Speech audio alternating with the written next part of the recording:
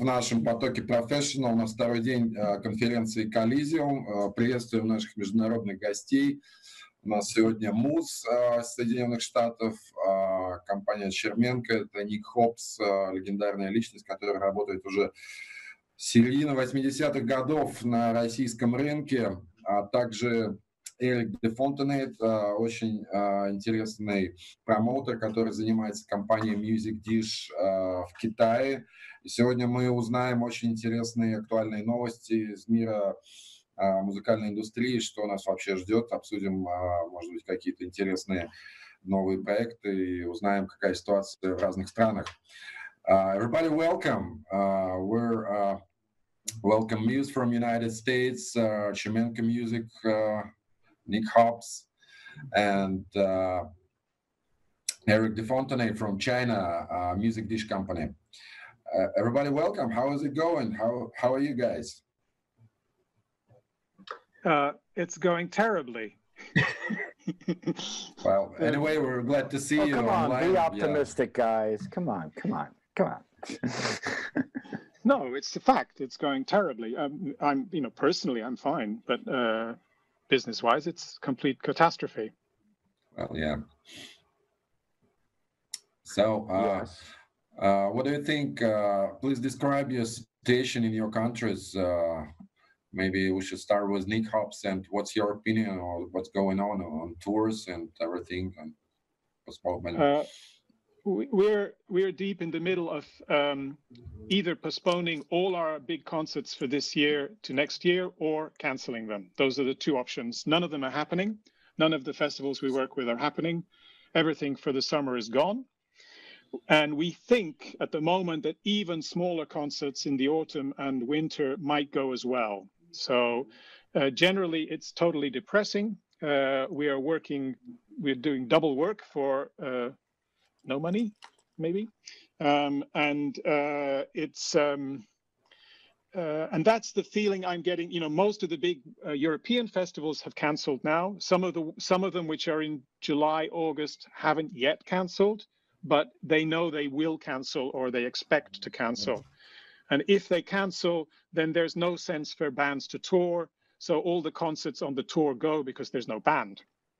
Mm-hmm. Um, apart from the fact that at the moment there are so many lockdowns and restrictions and nobody knows exactly how it's going to pan out uh, that uh, it doesn't you know even if things changed you know if things changed in one country let's say germany where things are a little more under control than they are in the uk or france or italy uh, it wouldn't help touring because the bands depend on the whole of europe. Um, and if they're not touring in uh, you know, if, they, if their dates have gone in France or the festival has gone in France and the UK and Italy and blah, blah, blah, just having Germany doesn't work for most touring bands. Or just having Moscow doesn't work. Yeah, right. Uh, uh, Eric, please describe uh, how, how, did it start in China? What was going on there? Wow. Well, China was uh, really an unusual situation because uh, it happened. Uh, you have to realize that we the biggest human migration annually every year is Chinese New Year. About between six to seven hundred million people travel. Uh, most of them travel in the country to go to their family, to go back to their homes, and significant amount of people travel abroad for vacation. It, it's officially a one week vacation, but it's actually like a two, three week vacation. Mm-hmm. Um, and COVID 19 happened right at the beginning of it. So, from our. What, what was the month? Yeah, it was late oh. January. It was January 26, I believe, is when they shut down Wuhan. Mm. Uh, two days later, I believe they shut down Hubei province. That's the equivalent of 60 million people. Shut down, I mean lockdown. Uh, Five million people had already left Wuhan, of course. Um, what ended up being like the worst time for this to happen ended up being the best time for it to happen because actually most people almost everybody was out of work because it was a holiday they just extended the holiday another week so we didn't have the unemployment, what I'm seeing in the US. Um, they were able to contain it in Hubei province. So Hubei was ravaged by coronavirus. Uh, there was also a few other provinces that got hit really hard, but generally the nation as a whole was kind of kept whole. Um, but to my industry, uh, you know, the live music industry is China is always tricky, and now it's even trickier. So, of course, everything got shut down. Um, there was signs of kind of hope in this in April when they were opening up uh, movie theaters, and a certain few venues were announcing new events and etc. And then the government shut it down again because of imported cases of COVID. Um, the first, the earliest tour that we have that we're seeing on our radar, and these are domestic tours, is in June. Mm-hmm. Uh, foreigners are banned from coming into the country. So bringing in overseas bands, we have no idea. Uh, and we did a survey in February of venue owners across the country. And the consensus was most of them might be able to survive until April. Mm-hmm. And now we're mid April. So this will be crunch time for a lot of venues that work on a I mean, work on more of a razor thin margin because we have all type of local regulations and et cetera that just doesn't exist. Well, I can talk about America Rev, uh, just don't don't exist in the U.S. So they have additional issues. Uh, so yeah, it's and we don't have like Europe where there are uh, government grants and cultural funds to help support the industry. So we're just basically working off our fumes. Mm-hmm. Yeah, in the, in the U.S., it's not it's not much different than that. You know, we have um, we have a culture that rewards survival of the fittest. And right now, the most fit are the corporations that are already way ahead in the game. So, what's happening is you have, uh, you know, Live Nation and AEG, which are the biggest promoters in the country, and, and also um, the the biggest live music companies in the country. They have been uh, talking for quite some time about postponing for one month, then two months, and then for the uh, foreseeable future. And so I think that the uh, issue ends up being when you have thousands of independent venues and promoters that are running day to day or week to week. And a lot of the programs that have been put in place from the government have not addressed the specific needs, neither in the short term or the long term. The short term being how do you uh, pay what you know existing bills that you have, whether that's keeping your staff uh, staff covered or uh, your rent paid or your loan obligations or anything like that. And then, of course, the uh, other side of that is long term. Is even once we are allowed to open up and the venues are allowed to book bands, there's going to be a minimum of a three month rollout before talent is even booked into those those places. And then you have consumer confidence issues as far as uh, whether or not the that audience is going to be comfortable buying tickets and comfortable staying in the rooms. It's expected on this side that there's going to be a uh, reverse rollout plan of some kind. So uh, much like they shut down bigger events and granted it happened quickly from big to small events but we're expecting to see the same thing here, uh, or limited capacity, or uh, things that would restrict it. So, you know, the big festivals, Coachella, it's it's been um, you know pushed back. Uh, you know, some of the conferences like South by Southwest and and you know have been canceled for the year. And what generally seems to be happening as far as the calendar goes is people are pushing towards the end of the summer. So, you know, September, October, seems to be where folks are are rebooking a lot of the dates. But there's no real reason to think that that's going to stay put. And uh, you know there's other people that are saying it's going to be until the end of 2021 before we start seeing dates back on board. I mean, the general feeling in the music industry and the live music industry in particular is that even if venues were able to open today, it's going to be between 12 to 18 months before we retain we, we regain some type of normalcy. Uh, just trying to get tours booked and audience back in rooms and everything else like that. And that's and that's assuming that the virus is under control. It has nothing to do with the um, the the the contagious nature of what we're all dealing with now. We're just talking about consumer confidence, economic uh, stability, all of those elements.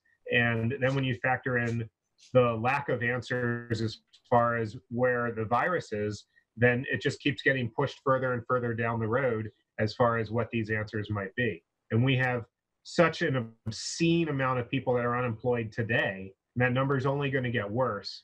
So even if we're allowed to book bands and those are allowed to play, it doesn't mean that people have the money to buy those tickets and go out anyway. I can give some indication from uh, uh, Beijing in 2003, because Beijing was uh, ground zero for SARS in uh, 2003. And if you speak, I was not working China at the time, but if I speak, you know, I've spoken to promoters who were there and they said it took 12 to 18 months. Yeah. And uh, SARS was really, uh, it came and it went. I mean, it was really contained. It wasn't like COVID. They're talking about a resurgence of COVID coming in November. Mm. Uh, SARS came and went. Took about 12 to 18 months before the Beijing uh, live scene was what it was before SARS. So we may be looking at 2022 if we're really honest. And that depends on to what I mean. I, I have a feeling that Asian governments, uh, East East Asian governments, seem to have more of a handle on control. Uh, Europe, so-so. U.S. not much. So that's going to be a big determinant, also. I think. I think the I've been I've spoken to people at both AEG and Live Nation and uh, what I pick up, it's it's interesting also looking at it from a US point of view, is the uh, Live Nation and AEG together have kind of come to an agreement with the main talent agencies, which is uh, WE, uh, uh, what are they called? Um, William Morris, uh, CAA, and a, what are the third one? I can't remember. UTA. Hmm? UTA. UTA, yeah, maybe. UTA. Um, and the agreement is quite radical uh, for 20, and they've kind of given up on 20 on 2020. Um, they're uh, moving forward on 21 optimistically, but uh, dramatically and dramatically, as in dramatically reducing guarantees, um, so that the risk is no longer uh, on the promoter, but it's on the artist. Uh, the artist gets an uplift on their bonus on their versus deal. So if the show sells out, they might end up making more money than they would have done. But generally, the artist is taking a much would be taking a much higher level of risk, and AEG and Live Nation can do that because they dominate the American market. So uh, it's not like a tour can just go off. You know, we don't want to work with Live Nation and AG because they're not offering us an, a sufficient guarantee. We'll go and work with someone else because there kind of isn't somebody else at that at a national level. Moose, mm. would agree with that so far? I think that um, you know the uh, the there's there's a, a, a I think a, a, slightly misleading aspect to what you're saying, and it's it's not it's not that you said anything wrong. I think it's how the organization is organized. Um, when you're talking about those people being in a um, an agreement as far as shifting the blame and shifting, uh, you know, the uh, uh, uh, impetus towards the artist as opposed towards as opposed to towards the promoters, uh, there's other aspects of that that come through as well. Um, one of that is going to be simply the fact that the uh, agents are also working in same parameters. So if the agents are saying that um, you know they're willing to work under the terms that Live Nation and AEG are pushing down the road, then they're also forcing those same terms upon the independent promoters and the independent venues that are working across the country. Which means all of a sudden you have the shift is um, the shift is put more on the uh, the folks that don't have the cash resources to be able to guarantee whether or not a show is going to happen or uh, or or have the economic confidence to be able to support it if that show doesn't come to fruition, whether it's because the artist couldn't make it into the country, whether it's because the venue wasn't able to open, or any other number of factors. And so when you put this on less of a, an industry giant perspective and more on, I think, the day to day operational perspective, it affects basically everyone except those five companies in a much more specific and uh, an urgent manner.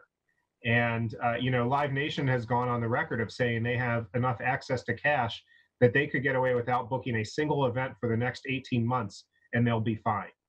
And the independent promoters and the and the you know are, are looking at a thing of, you know, they're they're the the government programs that have been put into place uh, for us SBA or PPP, which are acronyms that might not mean as much, but essentially to protect the businesses in general, just haven't been disseminated in the way that is helpful to the venues.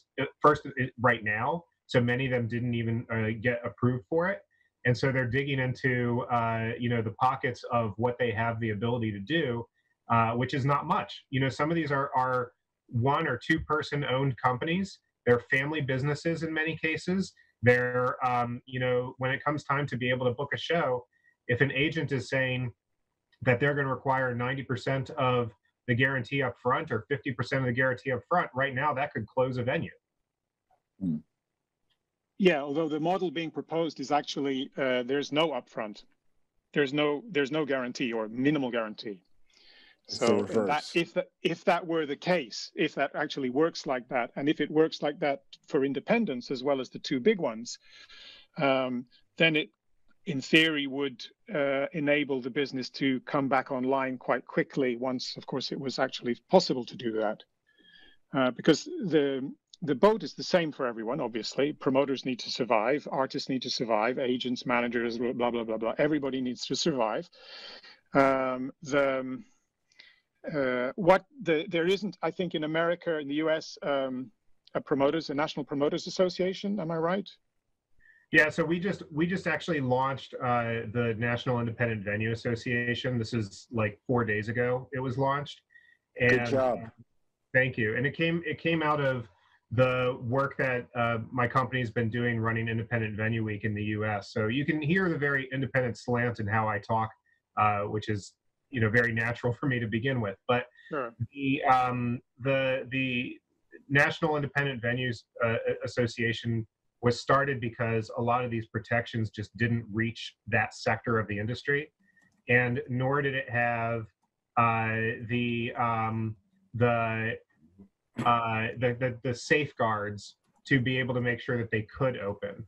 So, Nick, I understand what you're saying as far as you know everybody's equal and everybody has the same access, but but but they're not starting equally and sure. uh, and a lot of the weight within the industry as things shift and they're shifting quickly and even that task force that started you know those they started um, you know uh, i guess pulling further apart as those conversations went on but um, you know that's that there's there's something to be said about an industry-wide task force that doesn't include a large number of the uh, the people that support the industry especially on, on a grassroots level, on a groundswell level. Um, so, uh, you know, what we're trying to fight for is to get legislation put into place that helps protect the um, the the live industry overall, the venues as part of it, and the people that depend upon it, because the economic infra- the economic impact of what we, the four of us, are stressing right now it, it goes into the communities and it goes into the restaurants and the bars and the hotels and everyone else. So we're we're looking at the the role as being much more than just how do you save this venue or how do you save this tour, and more along the lines of how do you save these communities across the country, and how do you how do you uh, help guarantee that they're going to be there in the future, because I you know I think we know that the difference between the the real uh, publicly traded or multinational companies is they don't have the same local impact and they don't have the same local connections when it comes time to fundraisers for schools or hosting weddings or you know reaching out to the community and and all the other elements that make a business more than just a business uh, you know so that's what we're we're trying to go to dc and and and hopefully get written into the next round of legislation mm-hmm. i think that the i know from eastern europe that pretty much everybody my own companies in, included are forming or part of joined promoter local pro, promoter associations national promoter associations and are talking direct to government uh, with a maybe not quite such a socially aware agenda, because uh, but still uh, with the agenda of trying to keep the, the promoting ecosystem alive, so it's still there when the crisis is over. Um, some of it is covered by general um, schemes which apply to all small businesses, which vary from country to country quite a lot, uh, like furloughing, so you close your office or close part of your office, and the state pays a percentage of the, the salary. So you can keep the staff, but it's the state paying, not you. Um, and uh, in other countries, there might be direct help for promoters or festivals or venues or whatever in the in various forms which are under discussion, which might include tax reductions. We've agreed or part, we've been part of an agreement in I think Poland and Czechia, where the tax that we paid last year, which was a profitable year, can be uh, offset against the losses this year, which is not how the tax system usually works. Usually the tax system works only forwards. So you, if you make a loss this year, you can offset it against profits next year or in three years' time, but you can't offset it against money you already paid to the government because you had a good year last year. So that's something that we've tried to change, which is quite significant, I think. Um, depends on the country. Turkey, there's nothing to help promoters at all, but in Poland and Czechia and Serbia as well, there's something. I don't know yeah. about Russia. No, I think there's nothing in Russia actually, from what I hear. It's also important, I think, when you're having these discussions to to identify that there's different reasons to want to keep the this this element of the the the world alive. You know, one is the arts and culture, the other one is the economic impact, the other one is the the local businesses. You know, there's all these different reasons that uh, somebody would be motivated to to uh, invest from a from a so government would, perspective, especially. So I would say that um, so we're kind of ahead of the curve on COVID. Uh, we just had our first quarter numbers, GDP, minus 6.8. So that's the first time that China's had a negative quarter since the Cultural Revolution, 1976. Uh, so, and the way I'm seeing the US having 22 million unemployed, people talk about something greater than the Great Depression. One of the things to realize is that the arts can very easily, uh, in China, very easily, but even in other countries, be forgotten when you're talking about, and I think people have to realize this, and especially in the industry, you're talking about survival mode. And no one in our generation has known what the word survival mode is. That's probably going back to World War II, the last time people had to face something like that. And so, I mean, that just has to be taken into perspective, and people have to take a very long term view for the industry. And actually, I believe we have to start reimagining the industry because, even as you say, uh, even when people come out in Beijing, uh, people, life has come back to a certain normal. But the malls are still, and, and this is a very consumerist society, the malls are still pretty empty people are going into the parks. They're going outside because they feel safe outside. Um, the government is very reticent to have any gatherings because they don't want, they really want to nip this in the bud. So really, you have to think long, long term, and especially for small. And I'm happy that you started the the association. I think it's called Vina. Niva. Niva. Sorry.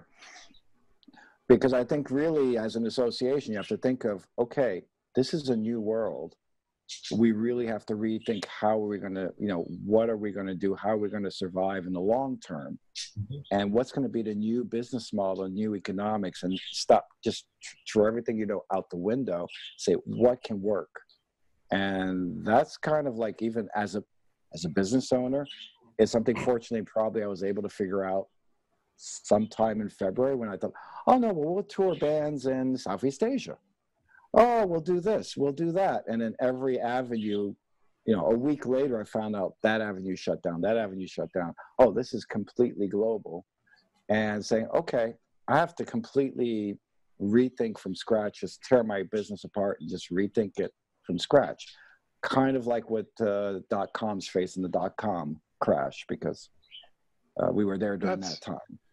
That's easier if you have a low overhead, if you don't employ many people it's really hard if you employ a lot of people. Yes. Um, yes. And uh, you want to keep them because when your business gets back to normal, even if it, you know, to, to next year or something, or even the year after, you uh, want those people to be there.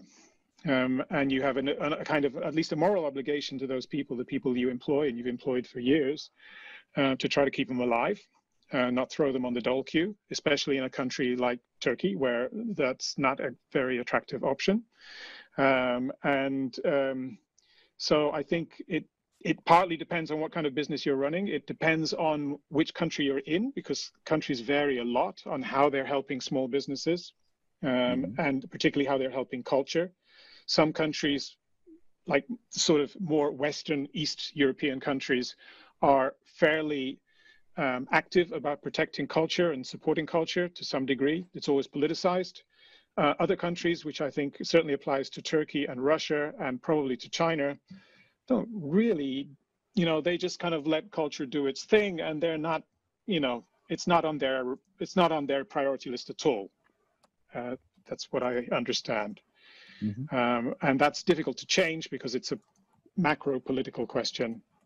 Um, and probably to some degree applies in the US as well. Trump is not a cultural chap, obviously not just yeah, Trump, think... but there, there, there's not a, an infrastructure. Europe has infrastructures uh, of grants that are uh, local, that are um, provincial, that are national. Canada, Australia, uh, the U.S. Um, you know, we've never had that infrastructure. So you, I think the problem that that that that's facing the U.S. to some extent is even if you want to help that industry, you don't have an infrastructure that is properly calibrated to distribute the funds to that industry. Whereas in Europe, you do. You know, you do have uh, minimum performer uh, performers minimum wage in France, for example. So you can you have people's bank accounts. You can shove people you know money into people's pockets or festivals or whatever.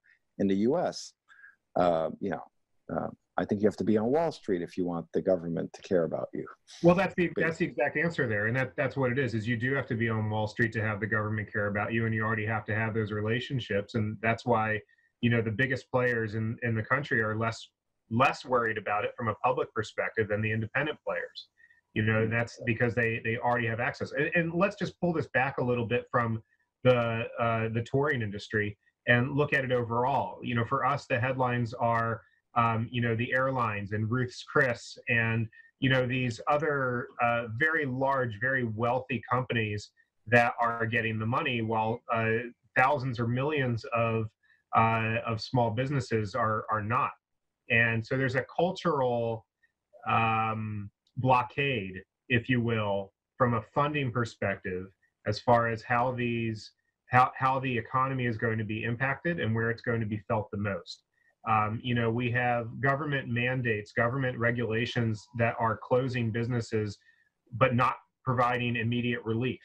And uh, and and that's I think the biggest issue that everybody has right here, right? Like, and then you have the the flip side of that, which is the people that uh, are being uh, encouraged to work, if you will, the essential workers, are also the ones that are coming from the most impoverished uh, you know communities and and you know you can see the stuff on the news where it's like these uh, the, the communities are not being hit in the same way the wealthy communities are able to stay at home the poorer communities are not able to stay at home mm-hmm. so you see like there's a very real divide in the us that's happening uh, that's that's far past just what we in our own in our own world want to see as far as being able to go and congregate in rooms and listen to music. Like the art element is important, but the the um, I think the uh, the the culture of being an American, not just right now, for the last several decades, has been uh, very divisive. And I think that you know we're we're seeing protests in the street this weekend to open businesses back up. Uh, there's a, a, willful ignorance towards what people are and are not willing to uh, to tolerate, and it's uh, it's it's systematic. It goes across the board. And there's a, there's a there's another point which I thought was maybe just to throw in there, which is um, talking about systematic things in the U.S. The yesterday's concert, virtual concert, Global Citizen, which I watched some of. Uh, yeah, yeah, I watched also, it too. It's really cool. Yeah. Uh, depends on your point of view. They were all stars, um, and uh, the uh, minorities were kind of underrepresented, and certainly minorities artistically were underrepresented. There weren't any, so it was uh, mainstream mainstream music of one kind or another, established mainstream music, the top end, uh, the Live Nation AEG end, if you like, um, and the rest was just not there. Um, and I think that's also uh, indicative, or whatever, of um, the way it works, not only, of course, in, in, in the US, but uh, globally. Um, and it doesn't help the, the lower so to speak, less commercial, whatever, or more local artists. Um, the whole thing yesterday was not the whole thing actually, but nearly the whole thing was in English, of course, even though it has the yeah. word global on it. Uh, there was a couple of things in Spanish, I think. I don't think there was anything in French, as far as I can remember. Um, so that's that's a certain kind of uh, portrayal, which is from well-meaning people. I don't dis, I don't uh, impute their impugn their their intentions, their good intentions of Lady Gaga or whoever it is, but the way that they think is very much a top-down cultural model, as opposed to a bottom-up cultural model, which is more relevant to any independent. I, I, I fully agree. I don't think it's something that most Americans even think about. Uh, I think that the way that most people perceive Americans is reasonably accurate. Uh, I think there's a reason that we have the stereotype that we have across the world, and uh, you know, it's uh, it's not going to change from uh, in in our current situation. I, I, think that anybody who's paying attention to American news from a global perspective will probably understand that, and uh, and it's just it's just where we are right now. Um, I, I kind know, of understand. I, kind of understand. I mean, I, I remember Live Aid uh, I kind of understand where it's coming from because Live Aid was no different. It was it was a whole bunch of the global names, and the idea is that if you want to attract a global audience, you need to get the top talent. So I'm not going to bemoan. I mean, uh, what I bemoan is it says curated by Lady Gaga. I said that's not curation. That I mean, I, anybody could have picked those names. I mean, wow, curation. But I'm not going to bemoan that. Oh, if you're going to do a global a concert to raise funds for a certain cause, you're going to bring those type of names. The question is, how can we use, that's why I talk about reinventing our industry. How can we use digital technology to be able to reinvigorate causes locally? And that's what, I mean, we're not going to do a global citizen. That's not the role of indie. Who's going to patch in to hear of a band they've never heard of? I'm in China. We haven't heard of most of your bands. My job is actually to bring bands that no one's heard of and to bring an audience to them. And we've had, you know, some success in doing that. So my question is, how can we locally empower people using digital technology and et cetera to get people involved, to get support that's local? Because if we're going to go and say, oh, well, how can we get the federal government to care when there's a line of airline companies, natural gas companies, oil companies, car companies, hotel companies, and we think we're going to get we're going to get crumbs. So yeah, that's why I'm saying there has depends to be on the country. Depends on but, where you are. If you're well, in a country uh, which gives a value to national value to culture in general, then you stand a much better chance, and you should even, try. Even even though I, I agree, I'm French part French. I agree. We we we definitely pride culture, but when when when things get pushed to a certain brink, and you have X amount of unemployed people and so much budget in the government and cannot raise taxes, choices will be made. And the, Sure, culture usually is always the culture and education. They're usually always the first victims of any of these things. I think I there's an argument. industry. But, but I think It's Eric, what you're talking about is very you're, you're very you're very much focusing this, I think, on on not necessarily specifically Americans, but on what a lot of the political uh, uh, landscape is that has certainly pushed out from the U.S. into many of the other uh, you know global leaders. And so I, I think in in that perspective, I can tell you what's going on here, which is uh, which is you're right, right? Like you're right, and we should be prepared for it. And I think that that we generally are. Uh, what we're seeing is that the local businesses, the local communities are being supported by their existing uh, consumers and their existing Right. audience, right? So, so we're seeing that, and that's true for bakeries. It's true for music venues. Uh, Right. People are trying to keep their local companies alive, and and well, I shouldn't say they're trying to, but I think people are more aware of the fact that their communities are being impacted because their kids are being laid off and their neighbors are being laid off, and they're trying to figure out how that works but then you also have um, you know on a on a, uh, a global level the companies that don't have to worry about that are going to weather through it because everything you said they have access to the, the funding. The real question that we should be asking ourselves here is uh, are we in a period of complete stunted growth? Or do like in other words are we only able to maintain the current relationships we have? Or are there uh, options for us to be able to uh, increase that that reach, whether it's locally or whether it's globally. That to me is where I see the ability to innovate is going to discern who's going to be able to make it through this and who's not. If there For is example, governmental for example, what would your examples be of possible innovations? Well, I think I think obviously the shift from um, you know a brick and mortar live music venue doing more streaming, right? You know, it's been something that has been possible to do for the last what 15 years. Uh, so for the last 15 years, there's been no shortage of companies that have been trying to get people to log in to see whatever club from around the world do a live stream of a concert. The real question has been who's willing to pay for it, and then where does that money go? So now you all of a sudden have all these different options. Some of them are are much more widely um, uh, uh, adapted than adopted than others, like YouTube and Facebook. And then, of course, the, the question is, what's the monetization on that? How does that happen? Then you have your Patreons and your other tip jar elements, Twitch and things like that. And so, Uh, like, how much money do you have? How much money are you realistically able to make? Are you going to make that money because you have an audience of 2,000 now, whereas you would otherwise have played to 100 people in in some small club?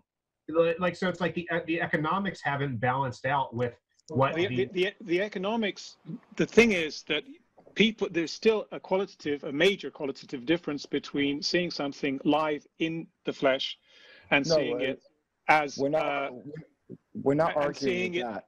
right and seeing it as That- a live stream. And it doesn't matter whether it's uh, a concert or a football match or whatever. It's the same logic. It's another And, uh, question, but I want to like. China is the most digitized society on the planet. Um, and we have been doing live streaming actually for several years and monetizing it. Uh, the problem has been uh, in 2017, we actually live streamed each every band that we brought from abroad. We did a, uh, in studio or concert live stream. Uh, a lot of those companies that did it either abandoned that segment yeah. or kind of abandon the yeah abandoned that segment. the reason wasn't why it was enough. it was profitable. Uh, it, you know, it, it is profitable on Taobao, which is the eBay. It is profitable um, in uh, online education. It is profitable in a whole bunch of places, uh, but it hasn't really been. It's profitable with DJs. That it, it recently we found that uh, because they were forced to, hasn't proved profitable for live music. And so here I would say yes, because live music is another beast. It's another animal. Um, and so I, I saw that, I think it's Erykah Badu uh, is trying to, in the States, uh, innovate on live stream and monetizing streaming concerts. Um, so that is part of it, but I, the challenge for us is that if, if if if we're not talking about the big major names, but we're talking about the music I love, independent artists, touring artists, definitely touring artists. They they do hundred shows a year, but they're not brand names. It is very difficult to because it's it's kind of like going from the CD to streaming, right? Even if you're playing for two thousand people, guess what? You made more selling CDs to 100 people than you make on Spotify. And you have, you have, another, you have another like, complication, which is that at the moment in most countries, a band can't get together because of lockdowns and social isolation. So it's impossible for most bands to actually do that unless they're very, you know, high-tech setup like the Rolling Stones were last night. But generally, a solo performer, singer-songwriter, somebody with songs or with a backing track might be able to deal with that. Other yeah. performers are going to struggle um, at least till the crisis crisis winds down. But it still doesn't address, I think, the main issue, which is that how do you monetize a live stream in a way that is comparable with a concert? Of course, you can't charge as much for a live stream as you can for a concert, but you have the hope that more people will see it. Um, and uh, the logic is to can you produce something which is so interesting using the medium itself uh, not trying just to be um, a concert uh, through a video, which is kind of crap, um, yeah. or uh, but doing something creative with the medium, so that you produce something that you that actually isn't a concert, a, a, a, simply a replacement live concert. Well, I, Nick, I, mean, I think that's what, that's what Eric's saying though, is that is that um, you know the, the this is part of that transition that we saw from how people are consuming music to begin with uh, and, and, and even though the promise is there and the access is there that now you can get any band you want from anywhere in the world, uh, when you look at the, the models, it is, it is, I would say, arguably harder to, um, to, to break an artist independently uh, than people would realistically think it is because there is so much noise and the, the, the mechanizations from the streaming platforms are still very gated. You still need to know the right people to get in the right place, no matter what's being pushed publicly, uh, it still very much is a you have to have success to get success. So the um, you know uh, not that the model from 40 years ago where one radio DJ was a better model, but I think the perception there is that anybody can do it, and the reality is is not everybody can do it. So you have a, a quality gap um, from what's being uh, you, you, know uh, for people that like music discovery whether it's uh, smaller unknown bands or regional bands from different parts of the world that just don't necessarily travel in the same way. But nick you're completely right. Like there's there's there's no answer to this. I think that you know people in the, in the um, streaming side were really looking at vr and ar uh, as being a potential solution but um, but that you know and those conversations have been having there's obviously a bigger buy-in from the fan to be able to do it uh, and maybe it will happen i don't think that anybody thought that some of the poorest neighborhoods in, in the world would have smartphones right now. Uh, but, you know, things are more accessible in many ways. I would say one thing is that, uh, you know, I always say music is the background to our lives. There's music everywhere, but people have always been willing to pay for video. I'm looking at uh, Onwards by Disney, and was it Troll World? And people are paying like ridiculous amounts for a 48 rent, 48 hour rental. Trust yeah. me, in music, it won't happen. Yeah. Right. Because we're the background. Um, well, you, so can, you can actually. It could be that the concert is what you're giving away. Like we've always given away music to make money. It could be that the concert is given away because what people really are interested in is actually what's happening backstage, is actually everything peripheral around the music. And that's what live streaming is taught in China in China, you don't pay for access. Access is free in live streaming, of course. What you do is you reward people, you gift them digital gifts. And it's the interaction between the live streamer and the audience, which is how you make money. And people are making, you know, thousands and thousands and hundreds of thousands of dollars per month live streaming based on the interaction and the reward that. Um, were they doing that before the crisis? This is something which oh, has nothing were- to do with the They were doing that. They, they were doing that. that this is not. Uh, this was not innovated in music. This was Why, and why why did that work in China but doesn't seem to work in anything like the same sort of way anywhere else? Because uh, because China uh, it's kind of the legacy problem. And so it, you know, of course, I'm from New York, so I think like back then, but I'm also here. Um, so it, it's like we were. I, were- I worked in telecom before, and we were struggling with how can we switch from going from a landline to a mobile. Well, in Africa, there was no. They just went mobile, and they went online banking, and if you look at uh, digital commerce, digital transactions, you know, I never pull out my wallet. I use a mobile phone to pay for everything, fruits and vegetables, everything. In the States, no, because we didn't have the infrastructure of having ATMs. Most people didn't have a bank card, didn't have access to a bank. So you leapfrog. The same thing when it came to live streaming. There was a certain leapfrog. They just, the technology was invented, boom. They found the business models immediately has- without has being the- hampered. Has the live streaming increased since concerts are no longer possible? It, it has not in the U.S. The statistics in the U.S. have shown that it's actually gone down. Uh, well, I should say, excuse me. Let me let me be more more accurate.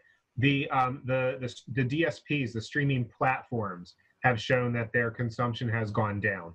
Uh, if your if your question is about has live streaming of concerts Yeah. uh, gone up, I mean, I think that we can all anecdotally look at what's around us and say, of course it has, right? You, you know, it's just what's a concert. That's that's what's changed. You're no longer putting a camera up in a venue and getting that one single shot. You're now in somebody's living room and, and you're seeing their, their grand piano because they have the money. Um, so that's that's what's different. I mean, we've seen some venues in the states have done uh, like closed door concerts, like the Rebel Lounge in Arizona had Jimmy Eat World uh, performing there, just a, a mic stand and nothing else. But um, you know, to put a full band on together, you're kind of creating a different problem, and that's what people are trying to avoid doing. So, what Sure. good does it do to put a band together if all of a sudden everyone gets sick the next week? Yeah, but the the the live streaming that you're talking about does have you know, smaller bands, independent bands, alternative bands, underground bands, or artists, whatever. Have they been doing the same thing with with the, with some success, or it doesn't work for them? So in China, I mean, the problem has been getting bands together. Uh, there was one band, Stolen, that was able to do a, a actual concert, and they're they're pretty big indie band. They toured with New Order in uh, Europe uh, last year. Uh, they were able to do a live stream concert, all the band members together in a venue, so more proper concert. It did quite well. Um, so there is possibilities for that. I think it did quite well also because it's an environment where there was a scarcity of anything. So otherwise, what you've seen is at-home festivals where you've seen old footage of festivals being shown and etc. Um, live streaming itself has boomed in China because live streamers don't require all the pieces to create a live stream. It's a person. In our case, we need to have a drummer, a bass player, a guitar player, and whatever other vocalist and whatever other people to come on the stage, have lights, and etc. to do a show. So how is live streaming now happening and how will it happen when COVID is over? Will it become a new business model? Is kind of the question. To me, while we're under lockdown, we're under lockdown. There is not like a lot of new business models. But We you have still have hunkered down. artists. But you still have artists, as we saw yesterday with Global Citizen. Some artists are able to perform solo from their home with a piano or a guitar or whatever. Right, but there's no Or a backing mechanism. There's no mechanism for. There's not a very good mechanism for monetization, especially in the West. In China, more so, but in the West, really not a very good mechan- mechanism. Uh, sorry, mechanism for monetizing that. So why couldn't you? Why couldn't it? Why doesn't it work selling tickets for a virtual concert, uh, which might combine several artists to make it into a kind of proper bill, um, and uh, where the tickets are marketed and sold through perhaps regular ticketing companies by a regular promoter uh, who is paying the artists in some way or other, either a percentage or including a guarantee or whatever. And they were coming up to the crunch for their venue.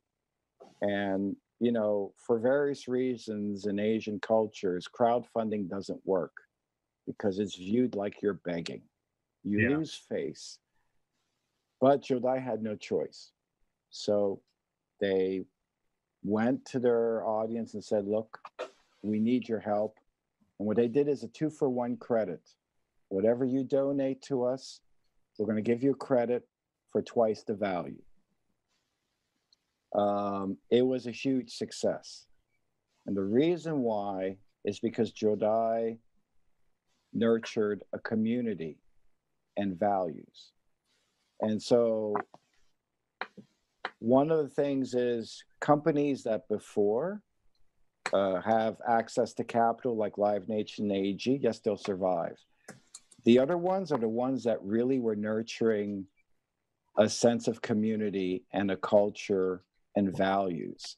And those companies can survive and need to learn how to tap into their audience. Some will not survive because they did not do that. And just How, how do you, Basically- take, give me give a scenario, simple scenario. You're an independent promoter, or you're a club, or you're maybe a theater, or whatever kind of independent venue. You're not owned by anybody. You're uh, you know it's self-funded, everything.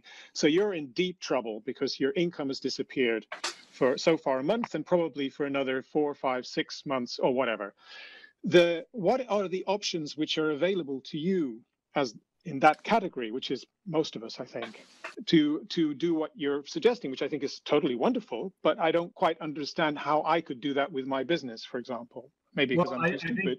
you know what Eric said is is part of that is cultural, right? Because in the U.S., um, you know, the idea of doing a GoFundMe, a crowd-funded, um, you know, life life preserver, is uh, is how we get healthcare, right? So I mean, not not to sound dismissive of it, but uh, you know, if you're in trouble, you you, put this website up and you say, "Please help, I'm in trouble." Um, Dude, you're really making the U.S. look bad. That's healthcare. it's it's um but but I mean that's also part You're of right, you're right, you're as, like even even keeping your employees paid right? It's not just a matter of having your employees being able to uh, to cover their costs. It's because insurance is tied into uh, to, to your employment here. And so uh, you know there have been hundreds of independent venues that have done crowdfunding uh, and uh, and on independent venue week's website you know we we started listing them right away uh, and you can see that some of these have raised tens of thousands of dollars and that's what they need. Others have uh, you, you know the majority of the venues that are doing these are doing them specifically to help their staff right so it's almost like tipping the bartender and some of them are being more creative they're doing things like what But- eric But said that I can understand that working for a venue because a venue is a local thing. People who are living there go there, and if it's a nice venue with a nice vibe, then people feel uh, some responsibility for its uh, future, for its continuance, etc., etc. But does that apply to um, other kinds of venues which are maybe not so local in their in their profile or promoters who are kind of like the people who put the thing on, but who are not particularly having a personal relationship with their audience. I mean, of course, they buy tickets, they kind of know who they're buying it from, but they don't really care too much because they want to go and see artist X. And whether it's Live Nation or an independent promoter who sells those tickets doesn't make any difference. Well I that's can where say from I I can like a, a local business and people that actually connect because you know first of all these these mailing lists are in the hundreds of thousands right? So it's like sending an email out you might only get a few hundred people that that that opt in but they're going to be people that that uh, are are in your corner. And um, i think that is the difference between being a no name uh, blind company on the bottom of your credit card slip versus something that you trust to curate shows and to bring you something cool and to be that tastemaker. Because you know in my in, in when i was growing up i would flip to the back of the weekly magazine and i would see the same print ads for the same venues and that's where i would get info. So there's no difference between you know what's happening now. It's it's you're just going to different print ads and it happens to be on the facebook pages or twitter accounts. It's you're, I- it's an alliance I would say that like my advice was really kind of to uh, promoter and as a promoter myself in China, I think we have developed a certain uh, brand around bringing very unusual, risque, high quality music that people go, oh, you got to show what is it? I want to see it because you bring something that's totally different. So if you've tried to build a brand, I'm talking to somewhat, you know, the, the people who are promoters now, they've already rolled their dice. Either they've developed that community thing or they were faceless.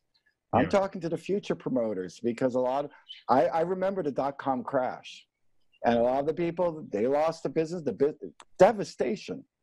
And then there was a whole crop of new businesses that learned from the the old businesses. I'm kind of talking to the new to the. There, there are the two people, kinds of two kinds of promoters, maybe roughly. One is the niche promoter who promotes uh, maybe only jazz or world music or both, or maybe only electronica or whatever.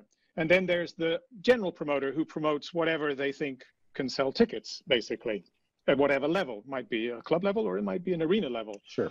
sure. Um, and um, most of the business is the second category, let's say. Most of the business is promoters who are not necessarily, and that's excluding Live Nation and AEG, but most of the business, yeah, yeah, yeah, apart from those two, is made up of promoters who are trying to run a business or have been trying to run a business, um, which means they have the flexibility to do a club show or a theater show or an arena show, whatever. And they have different relationships with different artists, which might be include some great artists and might some include some who are kind of rubbish. Um, and uh, that's the life of that used to be the model, I think, for most promoters, in my experience, and certainly talking about myself, not necessarily out of choice, um, you know, I might be much happier if I only promoted Arcade Fire and Nick Cave and Midlake and you know bands that I lo- love. Uh, but that's not the commercial reality that I find I found myself in. I found hmm. myself mm. in a reality where I had to compete with Live Nation and AEG, or Live Nation in particular in Eastern Europe, um, or I wouldn't survive. Simple as that. Yeah, you know, in the U.S., though, I think a lot of the people that you're guys, sorry. Um, I just wanted to interrupt you for uh, one reason. We have Tapio Korjus and uh, Tapio, uh, please join our conversation because we're really interested uh, what's going on in Finland as well. So, yeah. Well, uh, yeah, I, am on, on mute when I'm don't have any anything clever to say. I think it's it's better for everyone to to use the mute mute there. But I mean, in Finland, we we we are facing the uh, the problem with with all the summer festivals maybe getting cancelled, but uh, there's no official official uh, uh law or anything uh, so yet. So all the promoters are are having a hard time because they still are working to do those festivals, and you know the the longer it stays in this kind of limbo situation, the worse the, the festivals will, will have it. I mean, it looks very likely that uh, all the festivals in, in June will be cancelled, but they haven't been officially cancelled by anyone. It's the insurance things because if the, I think here it's it's very important to know, uh, you know, that don't freak out too early. You know, if you're a promoter, you know, wait until there's some official cancellation, then you you can use the force majeure and and and you don't lose so much money. But now all the promoters, you know, they they have no clue if they can do the festival even in in in in late late July or August. You know, it's it's really really tough. You know, Tapio, I think we we saw in the U.S. that that everybody was assuming that would be the same case, and I realize we have different laws than you do but the insurance companies are saying that this is not force majeure. It's uh, it's related to pandemic. So unless you have pandemic insurance, which very few people do, the insurance is not going to, to cover it. And there's obviously a number of different um, lobbying firms that are trying to get the government to force that hand. Um, but uh, but the I what we saw and we should have taken a better a better uh, look at what China was doing and what, what happened in China from an American side. And I know you were very much affected by South by as well, waiting as long as they they did. Um, but had they canceled it earlier, it wouldn't have been accepted. Um, and I think what we're seeing on the reality is that that the further in, in, advance you can cancel the events, the better off it is for everybody who's involved in them. The better off for uh, the artists, for the fans.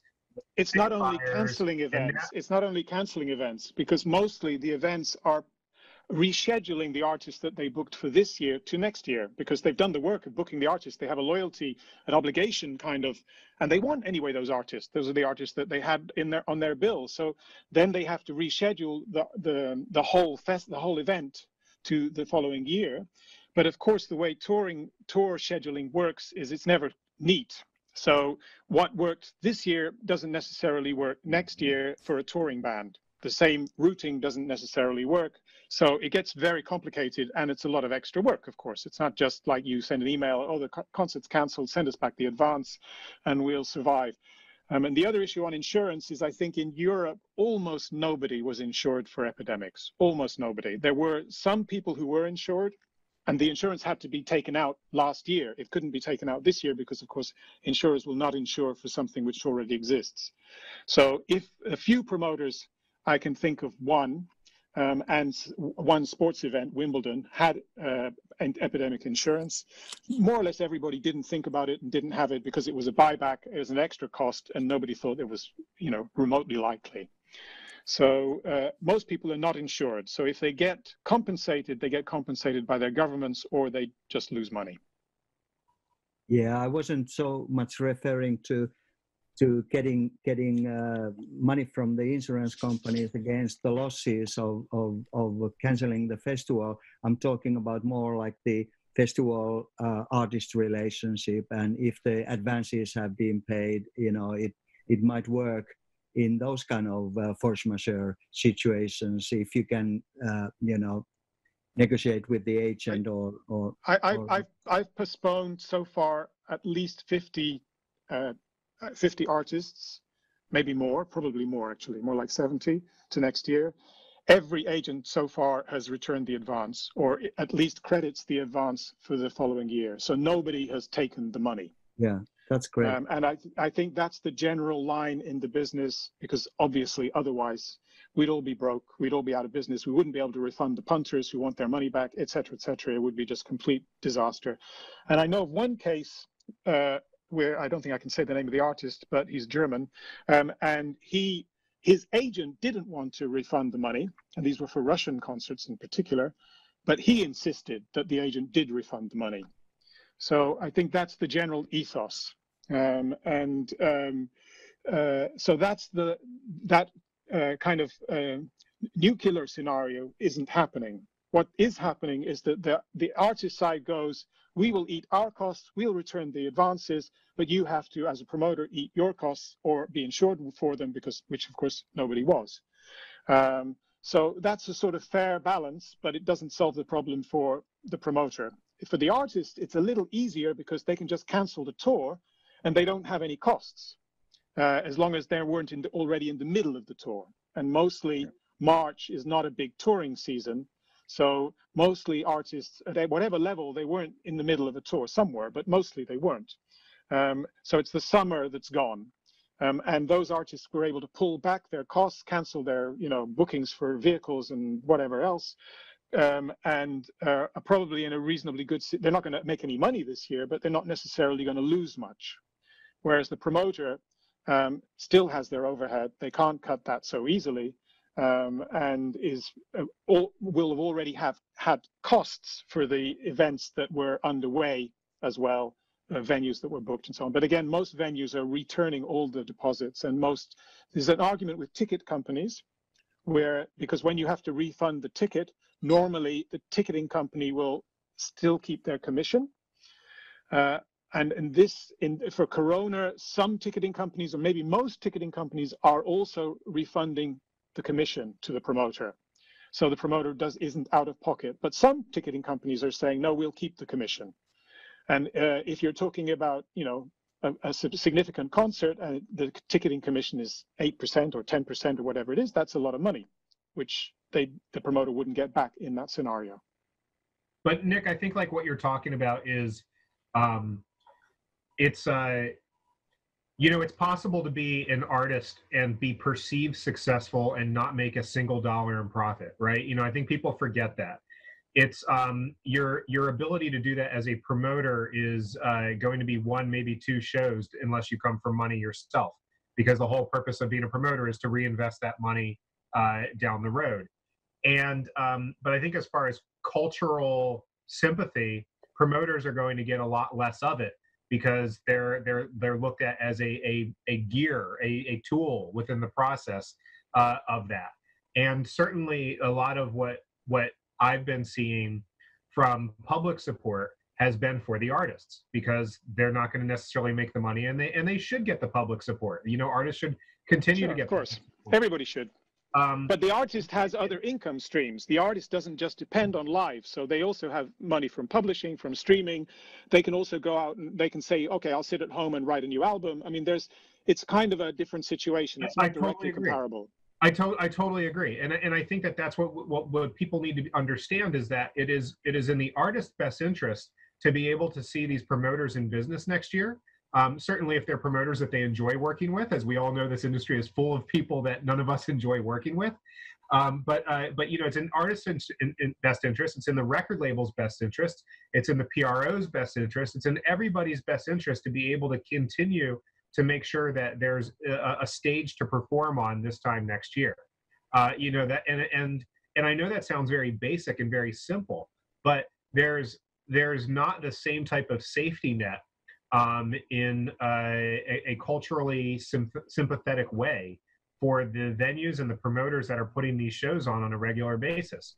Because, like you said earlier, Nick, I don't think a lot of people necessarily uh, make the connection. They're following the artists, but the people that do make the connection are more likely to be able to show support. So when it comes time to lobbying your government or supporting fundraisers or any of those types of things, this is going to be where that existing relationship needs to be leveraged and this is going to be where where you find out who your friends are right? You're going to find out who really is in your corner in a situation like this yeah, and one other thing I would say is that it's not only the promoters and venues; it's also all the support crew. It's the trucking yeah. companies, the hospitality yeah. companies, the technicians, the PA companies, the lighting companies, blah blah blah blah blah. The the security companies, the people who work at the venues, etc. There's a whole bunch of of service companies who are usually freelance.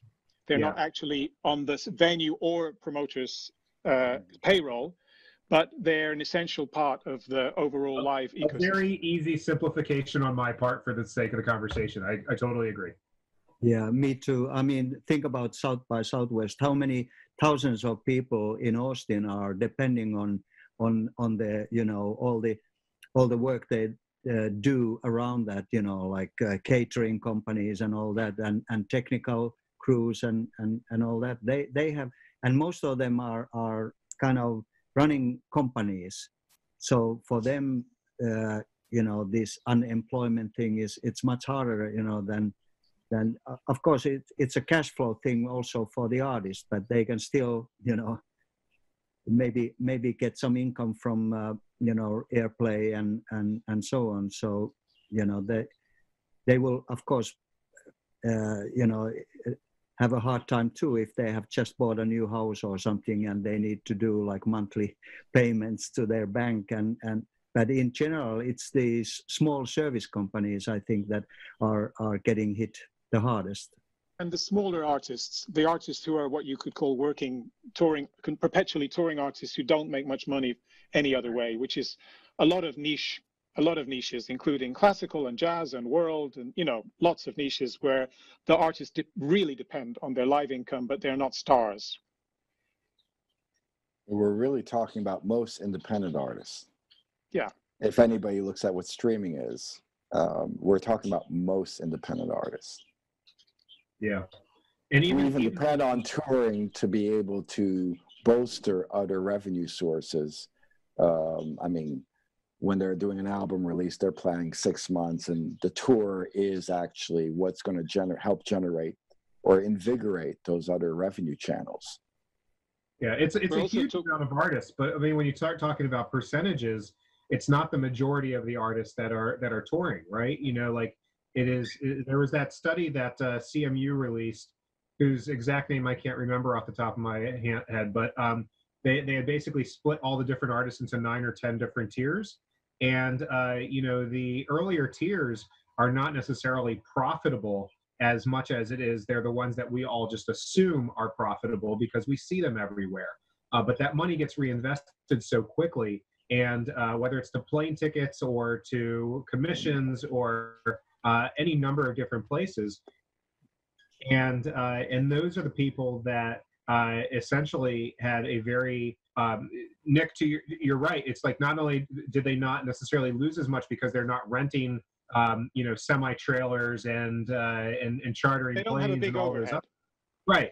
But but there, but it also I would argue it means that the money that they have spent is that much more valuable because them losing six thousand dollars uh, through things that they might not get back is potentially the difference between them being able to to eat that year. I think the problem is different if you have an overhead. If you Yeah. employ people, you're in big trouble because you have no income to pay those salaries or your office rent or whatever else is included in your overhead. If you're an artist where basically apart from your manager uh, and he's he she or he is on percentage anyway, everybody is freelance more or less. I mean, the big artists of course employ some permanent crew, permanent staff, but it's very few. You know, even big name artists might employ five people at the most to run their office. Uh, and those are the stars who can afford anything. But most smaller artists, they don't employ anybody. They are just the artist, the four people in the band or whoever it is. So they can cut back their overhead by not spending anything. So of course they won't have any money to eat. So then they depend on social security or whatever provisions the government might make, which in France might be quite good or Finland might be quite good.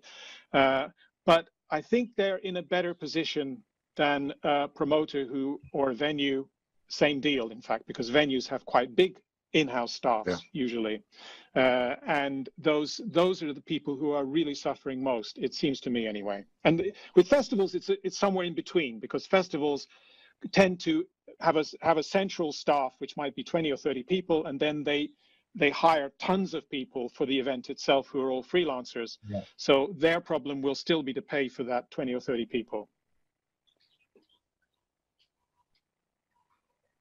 Yeah, I, I think uh, for local artists, local big names in, in a country like Finland, they can reschedule quite easily.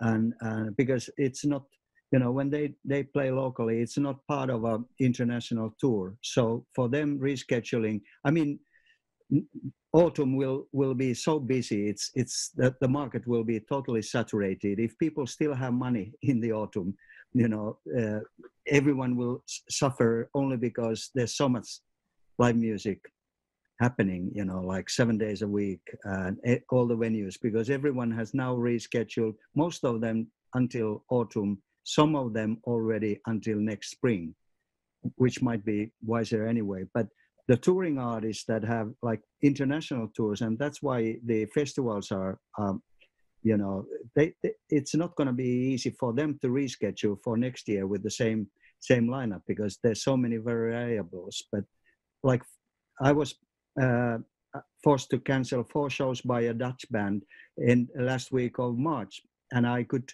reschedule two of the shows to the autumn and hardly anyone from the people who had bought the tickets wanted to get their money back. They were you know so so people if you have a band that has loyal fans and it's a like a one-off they come from holland only to play a couple of shows in finland it's not a huge problem but if it's part of a tour you know then it's totally different I think the exper- Let me tell you something that- L- l- Let me just say something about the ticket refunds things. Glastonbury, which has an incredibly loyal audience, it sells out in one day or less than a day every year, guaranteed, whatever it is.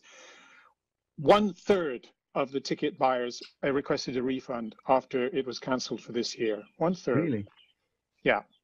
Um, and that, I think, uh, from what I understand, is quite common for festivals because festival tickets are like 200 euros or maybe more. Uh, people are worried about their income, um, and their first uh, priority right now is survival themselves. So uh, if it's a smaller act, and it, and the, and the other thing that's a factor is how long the postponement is. If you're postponing from the spring to this autumn, that's not very long. if you're postponing from this spring to spring in a year's time, that feels quite long, long. for uh, for a punter. So I think those there are quite a lot of variations in that. Yeah, yeah. I'd like to also say that I think you have to we have to think of we're going to be entering a post-COVID world. So maybe because I started this COVID thing in January, so for me it's been over three months that we've been dealing with this, and something dawned on me relatively recently. Is this the end of the era of cheap international flying? The this for me is a huge thing because the whole world was calibrated to relatively cheap flying for international brands and we bring them to China. Whether it's from Europe, whether it's from the US, if you have the right time time schedule and etc. Uh, it was relatively cheap to bring a band from Finland, for example, uh, which had a priority of being a European hub to China uh, it was relatively cheap to bring a band from Finland to China, which really helped with international touring. The airline industries are in a complete utter mess. How many will be around, et cetera, I don't know. Um, if you want to come to China, you have to do two weeks quarantine. How long will that last? Actually, if you're if you're a foreigner, you you can't come to China at the moment. How long will that last? How is that going to evolve for other countries? You I think there's some interesting things about the airline thing, which affects touring anyway. One is that the planes exist. So if an airline goes bankrupt, the first thing they do, somebody does, the creditors, is they try and sell the planes. And even if they have to sell them at a cheap, super cheap price, they'd rather sell them than have them sitting in a in, on a on a you know in an airport somewhere, growing old. So the planes are still there it affects new orders for planes to the manufacturers, but the planes no, no, no, it, carry on no, no, it, no, no, no, it affects. So I think, no, no, no. It, it, what think, you're assuming is that demand picks up. Everybody has this discussion where they there. assume, oh, well, when we go back to normal, there's planes there. We may not need half those planes because it's people a, are not going to fly, and the, the, the price points of a flight may be very different, which is going to affect demand. So those planes actually, there may be a like there's a glut of oil right now, not because of COVID, mostly because of a price war between Russia and and Saudi Arabia to undermine American shale. But that's a perfect example. There's a glut of oil. They have just reduced production of oil and it had almost no impact on price. And I'm going to like transfer that to airlines and except in the reverse where airlines are like no we have to charge more because we have to start refilling our coffers Cheap but, but that's a, that's always a market thing airlines operate in a very competitive market and so they their pricing like in fact a bit like concert tickets is set by the market it's not set by how much money you can make or won't make or whatever you have to set it by the market if people won't buy buy at a certain price even though you think you need that price or you do need that price, you still can't sell at that price. You have to sell at the price that people will pay, no, pay for.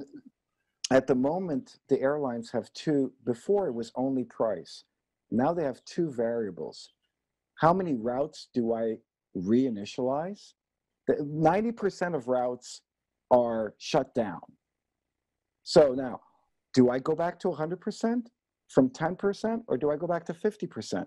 So sure. it's literally rebalancing supply and demand. So it could be that supply is 60% of what it was before, demand is 70%, and therefore prices are twice as much. Eric, as I feel that I, think that what you're what, what you're what you're talking about may or may not happen, but I think it's also uh, it's important to, to have you know speculation on both a, a conservative aspect and of course also in a more panic-inducing aspect. Um, you know, what, what the reality is, is everything that we have used and have known has changed and will continue to change.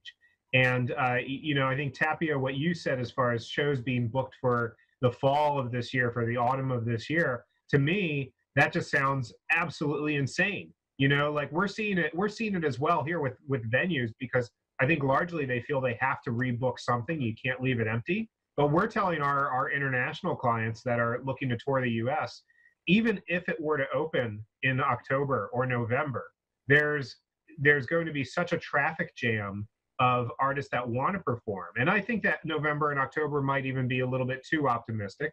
But I think that there's going to be such a traffic jam that if you're a new artist and you're trying to get into the market, you're going to have all of the issues that Eric just talked about as the airlines try to make their money back. You're going to have all the issues that you know Nick was talking about as far as being able to uh, have too many people trying to play the same rooms. You know, you're going to have all of these issues all at once. The reality is, is we don't know. We just need to be kind of flexible and open enough to be able to navigate as as these opportunities come up in front of us. I think that the airlines thing I don't know. For me, it's a bit of a distraction because the biggest markets are regional. So there's a European market, which doesn't depend very much on airlines. It depends on road transport, the same as North America. Um, I don't know about Southeast Asia or South Asia, um, but the, the, certainly in Europe, the airlines, I don't think it's a major issue on touring, except of course for American bands or Australian bands coming into Europe. The bigger ones, they'll just absorb the cost. The smaller ones might suffer. Uh, That's what what's interesting. Guys, guys, sorry, we have 10 minutes left and uh, we have one question from YouTube. Uh, Just one? Uh, well, the first one was uh, the question to anyone, uh, to everybody. Um, do you think the audience will be having fear and some kind of mistrust to visit big shows and venues if we're talking even about next year? Yeah, I, I think it's inevitable. I think it's inevitable, and I think that the um, what we're going to see is we're going to see a uh, a relearning, if you will, of how to behave in public, and that relearning is going to come uh, in the entertainment sector. If you're talking about you know like clubs to larger rooms to theaters to arenas, etc., that's going to be part of it. But also look at it from a sports perspective. Are you just going to have 30,000 people in a, in a stadium now to see a football match? I, I can't imagine that's you're just going to get an all clear from the government and people are going to swarm out. So I, I think that there will be a um, a cultural relearning across the world as far as what people are and are not comfortable with. There's an interesting issue with seated venues versus standing venues. Seated venues, you can do stuff like block off every alternative seat. So you can have social distancing quite easily in a seated venue. In a standing venue, that doesn't work because people will move to the front. So even if you only have half capacity in a standing venue, the back half will be empty, the front will be full. Generally, that's how people behave at a concert. Um, the issue of whether the concert, and the same, of course, for a festival, the, the issue of whether people will be afraid depends. You know, that's that's one of those big unknowns because nobody mm-hmm. nobody knows now how this thing is going to pan out, fade away, whether there'll be reprieves, whether there'll be a vaccine or a treatment or nothing, or it's, you know, who knows? I would say uh, the thing I'm worried about the most here in China is uh, the restrictions placed by local government. So, will they say you can only sell 50% of capacity? or 40% mm-hmm. of capacity or 30% of capacity, which will affect my profitability and whether I can do, whether it's worth me doing the show. Uh, if I go beyond that, uh, what we have seen is uh, whereas live has not opened, clubs have reopened in China. And the interesting thing, uh, Arkham in Shanghai was one of the first clubs to open. And everybody had to be in their, they, they said, you know, like a, one meter square area to for you to dance, and then another person had to be a one square meter one square meter area to dance. Another person one square me- area meter to dance. And it was really interesting and, and being enforced by the club. Um, as for the people, I don't know. On the one that's, hand, that's my dream scenario, by the way, Eric, is that nobody's around me. I just get to enjoy space. My my opinion. Not sure it will work the, in other the, countries. It's interesting that it worked in yeah, China. Yeah, in, in China, yeah. I mean, we'll follow the rules. Uh, my thing that's interesting is I see like two pools, and, and maybe they're cultural within countries. Uh, people there. There's the idea that uh, after, you know people are already fed up in the U.S. They're already everywhere. congregating. They're already con- no, no, no. I think the U.S. is quite exceptional. Oh, it's They're already insane. congregating to protest, and uh, those know. are nutcases. Those are the. Those oh are the, no, no, you don't know. The, dude, I'm American. Those are not nutcases. Those are like 50% of the population of America. And I, I'm telling you, New Yorkers are just a little more civilized, but you know, as soon as they're told you can go out, some of them are going to have this hankering to do it. I don't know. Uh, so in Asia, we have a different experience than the rest of the world, again, because we had SARS. So why does everybody wear a mask in, in, in Asia, East Asia? Because we had SARS. That's why. That's why we don't have a reticence to wear masks, because we already had something that was very deadly. So the US and Europe will be very different from Asia. Will people be like, all right, go? Yes. Well, I don't know anybody who had COVID, so it's cool. You know, it's not mm-hmm. that bad. That's what you're seeing in Michigan or Florida. Well, you don't. Whatever. It's more. It's not about people having COVID. It's about people who die from COVID. So if you don't know anybody who died from COVID, then you're yeah, yeah, yeah, optimistic. Yeah. Or, or had a really bad situation with COVID. Yeah. There's just one point I'd like to just say before we close, which is that the national touring will open up probably before international touring. So Finnish artists touring in Finland or Russian artists touring in Russia or whatever is much more likely to start before uh, artists can cross borders. Yeah, totally um, agree. And, and if I were a promoter, my focus would be for this year totally on national artists if I was going to do anything at all. Nick, that's exactly what we're doing here in China. And we were completely focused on international artists up until this year. And that's what I mean by flexibility. Right. So, guys, uh, I think we should uh, finish uh, our conference, okay. and so yeah, we have like three or four minutes yeah. if uh, we have enough time. There's one question from YouTube. what ways would you recommend to work with local governments for middle range festivals to get funding? To be able to float on uh, uh, for one empty year, uh, for example, German approach, which seems to work for 100%. Work together. Work, form an association of, of all the festivals in the country, if there isn't one, and approach government together with one voice. Mm -hmm. That's that's what we're doing in the U.S. That's what we created the uh, National Independent Venue Association for. Uh, it's it's exactly what Nick said. I would add one but, but in, in, in the U.S., just one thing. Presumably, it's a bit. You have two kind of levels, though. You have a state level and you have a federal level. So you might have an association at a state level, and you might have another association at a federal level. Am I right? Yeah, correct. And we, and we are working with a lot of those state regional uh, offices. But the reality of it is, the state, the state, you're not going to have the same access to funds. I would add one thing that we've learned in China: uh, businesses that are in the bounce back that are doing well are businesses that really reinvested, doubled down on their interaction with their clients, with their audience. So if you are a festival, don't be silent. If you have a mailing list, get in touch with them. Uh, rebroadcast old festival footage. Uh, do whatever you can to keep that link with your customer, and everybody's going to have to do that during this COVID period. And in China, actually, I think companies were very proactive, and that was their solution build my brand.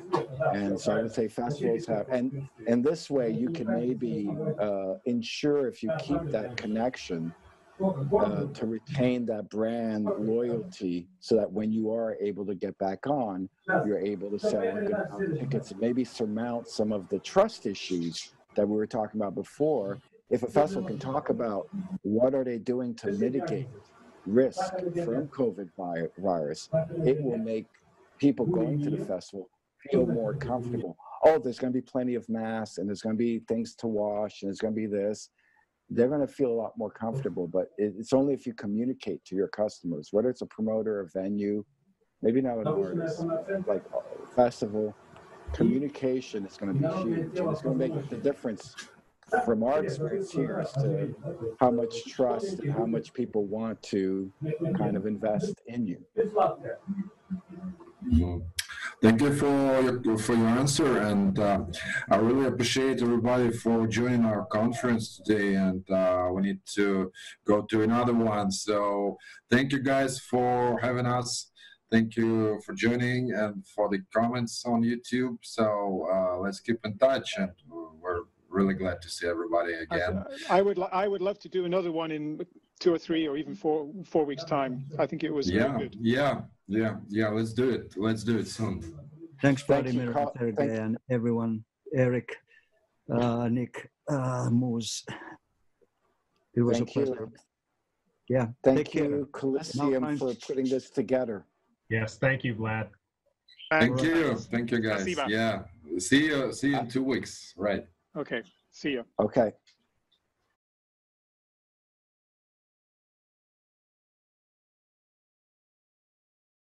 добавляем новые направления, новые интересы и людей. Здесь это площадка, когда люди могут наконец-таки встретиться офлайн, пожать друг другу руки, обняться и обсудить какие-то новости и выстроить э, планы дальнейшего развития совместно. Коллизиум – это прекрасная площадка, где собирается профессиональная индустрия, где собираются те люди, ради которых, в интересах которых мы, собственно, творим и работаем. Это мероприятие для менеджеров, для тех, кто устраивает концерты. Я приехал сюда именно в надежде, возможно, встретить какого-то менеджера, возможно, встретить какого-то продюсера. Всегда надо шевелиться, всегда надо что-то делать. Когда меня сюда пригласили, я посмотрел свое расписание, этот уикенд у меня свободный. Я думаю, почему не поехать в любимый город Петербург? Вы знаете, десятый юбилейный, страшно вообще сказать, 10 лет прошло, а коллизиум все существует. Тогда мне казалось, что действительно не так много внимания уделяется академической музыке, не очень много внимания уделяется джазу, а это важно. А, я думаю, что аудитория выросла, которой это действительно важно и нужно. И, по-моему, э, то, что есть классическая панель, связанная с классической музыкой в этом году, это хорошо. Была благодарная аудитория. А, мне кажется, неплохая была атмосфера. Я сказал все, что я хотел, все, что меня спросили, я все ответил. Я сказал, я думаю, что аудитория меня услышали, те, кто хотел. Я обещал прийти в коллегиум, я пришел.